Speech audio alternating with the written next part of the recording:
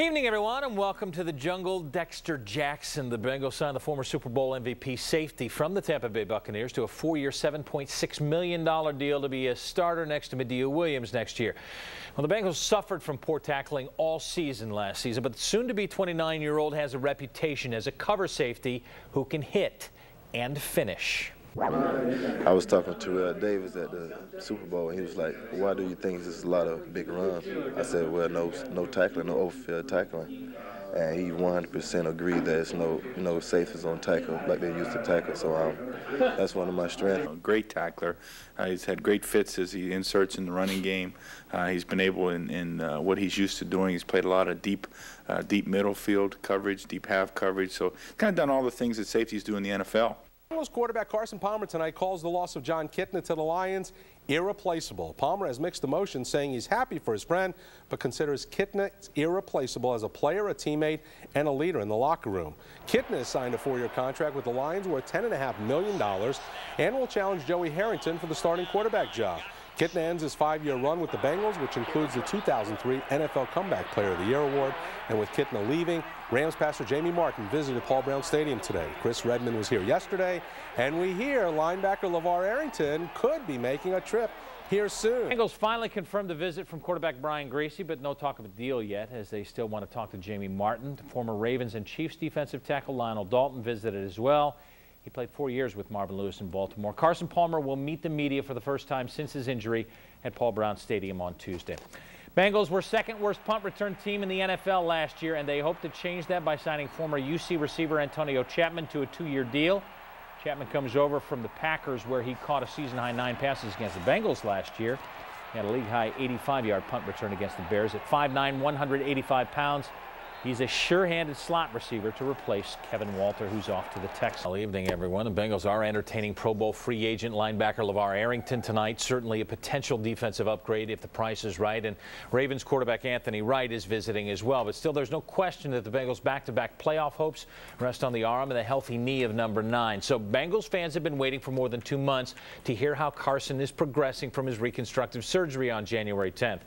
Well, Palmer held a live TV press conference this afternoon. Paul Brown Stadium Stadium, saying his rehab's right on track, showing a slight limp. He declared that preseason is his target to be back on the field in preparation to start the season opener. He has full range of motion, says he's recovering from knee surgery, uh, and you know what? That's just rather commonplace these days. Um, with all the hard work and the rehab and the strengthening and all the things I'm doing, by the time I step on the field 100%, I don't want to be worrying about, you know, is my knee strong enough? Is, is, is my knee ready for this? I, I want to be 100% and be ready to play like I was um, in the first play of that Pittsburgh game. Palmer rehabbing with Chris Henry every day, but the rookie wideout has bigger problems. Today, Henry pleaded guilty to marijuana possession, paid a $250 fine, and announced that he'd already completed a 28-day drug treatment program. Uh, Henry's sorry. Palmer's hopeful. Uh, I want to thank the NFL and Coach Marvin Lewis and the Bengals for trying to turn my life around. I need to grow up right now and that will, and that is what I plan to do. He's had a lot of a lot of stuff going on. All his family's from New Orleans. People get moved all over the place. Um, he's he's had a tough year, and, and you throw on top of that, it's his rookie season. He's playing, and he's trying to figure out an offense, and trying to make plays, and trying to make make a name for himself. And he's got so much commotion going on. It's it's tough to stay focused, and, and he made a couple of mistakes, and um, like I said, he'll move on from them. Well, the Bengals continue to work on secondary. Today they signed Rashad Bauman to a one-year deal. Fifth-year corner was an unrestricted free agent. He played in 11 games for the Bengals last season with just one start. I guess the NFL doesn't really think Carson's knee is going to be ready because the Dolphins are picked to open the season at the Super Bowl champion Steelers on Thursday night, September 7th, and it's not the Bengals. The first Sunday night game That'll pit Peyton Manning's Colts against his little brother Eli's Giants. A doubleheader for Monday night with the latter kicking off at 10 Eastern. How about a triple header for Thanksgiving? The Lions and Cowboys still going to host games, as will the Chiefs. The entire schedule is going to be released in early April. At the Bengals may be hoping that things didn't go so well in Miami and Joey Harrington can't wait to get to Cincinnati. The 27-year-old being forced out of Detroit, meeting with the Dolphins this evening before heading to Paul Brown Stadium tomorrow. Now the question is, how much would the Bengals have to give up in trade for Joey? And how much is left over for maybe LaVar Arrington or a defensive tackle? Don't know. Marvin, ready to tame Chad Johnson. We do know that. Lewis is the newest voting member of the competition committee. he's in favor of cutting down on the end zone celebrations. The new rule would outlaw the ball from being used as a prop. You can't drop to the ground. No excessive dancing. Brings a 15-yard penalty. Committee votes tomorrow. Chad told me tonight, don't worry about it. It won't stop me. Final results of our Local 12 poll asking should the NFL impose stricter rules on touchdown dances, and 27% say yes, 73% say uh-uh. Thanks to all of you who voted tonight. Evening, everyone. You have to have a pretty decent quarterback to win in the NFL, and the Bengals aren't sure when their best one is going to be healthy enough to play, so the search for another decent backup continues. Joey Harrington in town for talks today. No update on the status of those talks. Linebacker Hannibal Navies re-ups for one more year, and the networks showing the Bengals a little preseason love. Boys in Stripes open up on Sunday night national TV at Paul Brown Stadium with the Washington Redskins on August 13th with Madden and Michaels. Then off to Buffalo the next week on Friday or Saturday. Right here on Local 12. Back home for an ESPN Monday Nighter against the Green Bay Packers on August 28th. And closing it out down the road in Indy against Peyton Manning and the Colts on September 1st. Regular season schedule will come out next month. Tough day for Chad Johnson because today the NFL Rules Committee cracks down on touchdown celebrations, so no more props, no getting on the ground, no excessive dancing. They all draw 15-yard penalties. Chad still vows to entertain the fans. It's a good day for quarterbacks, though, in the wake of the Carson Palmer injury. Hitting low on the quarterback going to be a point of emphasis this year for the refs. 15-yard penalties for hitting a QB with both feet on the ground below the knees, although they do say that Kimo von Oelhoffen's hit would not have drawn a flag under this new rule. I don't know what that means. And if you're a Bengals fan, the most encouraging thing about the future is that the offense has been so good. And they've got most of the big pieces in place to score a lot of points for a long time. Defensively, yeah, they need some work, but the head coach made his name building great defenses. And to help the Bengals, Marvin Lewis has gone back to one of the big building blocks he had on that Super Bowl team with the Ravens. Defensive tackle Sam Adams agreed to a deal this weekend and flew in tonight from Seattle to Cincinnati to make it official. He's a three-time Pro Bowler and a 12-year vet. Joe Danneman caught up with the newest Bengal tonight at CVG. We're at the Greater Cincinnati Northern Kentucky International Airport and joined now by the latest member of the Cincinnati Bengals, Sam Adams. And Sam, what was it about the Bengals that really made you attracted to this situation? Well, I played here several times, and you know, for, for me, it, it, was Marvin. Marvin's a great coach. They have a great organization. It was something that I, I, really wanted to be a part of. I think that I can contribute, and hopefully, I can come in, come in and help the team. This is a division that really prides itself on playing smash mouth football. So I'm thinking you fit right in. That's right up my alley. That's that's how I enjoy doing it. And you know, Marvin's always preached you bring a lunch pail and a hard hat, and we go get at it. And that's that's one of the reasons why I've, I've enjoyed playing for him. You know, this, this division is a great division with the Steelers, Baltimore, and Cleveland. They have lot, they have a lot of up and coming teams. With the Steelers winning the Super Bowl, and it, it's it's great competition. I think the Cincinnati Bengals have the best opportunity to win the Super Bowl, and I wanted to be a part of that this offseason, two of the biggest questions were safety and defensive tackle on the defensive side of the football. They filled safety with Dexter Jackson, and now they've added you.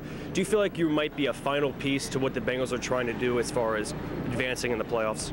Well, like Marvin said, they didn't need me here. I, am I'm, I'm here to do my part, and hopefully I can help contribute.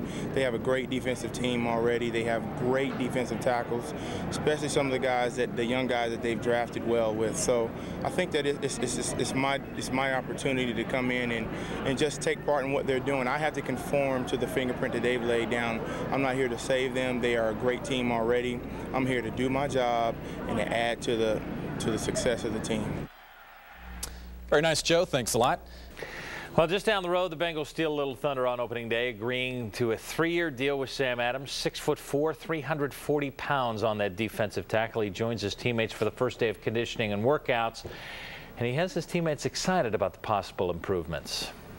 I'm, I'm sure there's, there's, going to be guys uh, uh, peeing their pants right now uh, on the offense, knowing that they have to double team a guy like him. And then you can go and ask uh, one of the guys on our team, Bobbie Williams, you know, he, he rather play with Sam than play against him. What is just going to make us that much better, and we're going to challenge each other in all kind of ways, not only on the field, but in the weight room too. And I mean, it just steps up everybody level of play around around him and the O line. You know, we we charging anyway, so hey, we gonna be all right. believes that the Bengals are ready for primetime act, and they label the boys in stripes for two national games in the regular season as the toughest schedule in the NFL comes Cincinnati's way. They begin 06 like they ended 05 in Kansas City. Back at home for the opener against the Browns, then the first meeting with the Steelers in Pittsburgh, and home to the Patriots before bye week at Tampa, home to the Panthers and Falcons before going to Baltimore. San Diego comes here, a trip to rebuilt New Orleans, off to Cleveland before the first national game, which is Thursday night, hosting Baltimore on the NFL Network. Then the Raiders visit before the next NFL matchup on Monday night on ESPN. That'll be at Indianapolis. Christmas Eve in the Rockies, New Year's Eve to close out the regular season at home against the Steelers. And a Sunday night game is still a possibility under the new flexible schedule in the final eight weeks when afternoon games can turn into night games at the network's request. If you fit that mold, you're one of Marvin's guys. Sam Adams is a Marvin Lewis guy. He was in Baltimore, where they won a Super Bowl, and he's in Cincinnati now because of Lewis and with the same expectation. No limp and just a small brace for Carson Palmer this week at Paul Brown Stadium. That was big news. But the bigger headline was this 345 pounder Sam Adams bringing 12 years of experience and three Pro Bowls worth of confidence to the Bengals defense. My job is, is to cause havoc and is to tear up any and everything in my path in order to get to the football. Adams was part of a Ravens defense coached by Marvin Lewis, and he played for Bengals defensive coordinator Chuck Bresnahan in Oakland. Both times he went to a Super Bowl. Neither trip left him satisfied. Where's my ring? Yeah.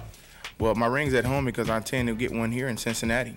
I've talked to JT and B Rob. We're all excited because you know we just want to have a good football team, and that's the key. Have, have the better people you have, the better football team you'll have. And it just steps up everybody level of play around around him and the O line. You know, we we charging anyway, so hey, we gonna be all right. Truly a guy you'd rather play with than against. Absolutely. it's not an overhaul, but a Bengals defense that was blistered at times last season looks a lot better on paper. Last year's top two picks, David Pollack and Odell Thurman, are both a year older. Madieu Williams is healthy and paired at safety with a solid pickup in Dexter Jackson. And now Adams up front has the potential to make the entire unit more effective. Sam, you know, he's one of those guys that, that demands a double team at, at every play. Then you put Dexter back there with Madieu, and you have two deadly safeties that can make plays at any given time. So it, it'll be hard to, you know, get some of those deep balls that teams got on us at the end of last year. You want to be very nasty and dominant, and that's what we're looking to do here. You want to be a dominant defense. We want you to understand that when you come here to play Cincinnati or you have us on the schedule, it's going to be a long day, so you better bring your lunch pail and a hard hat, and we're going to get after you.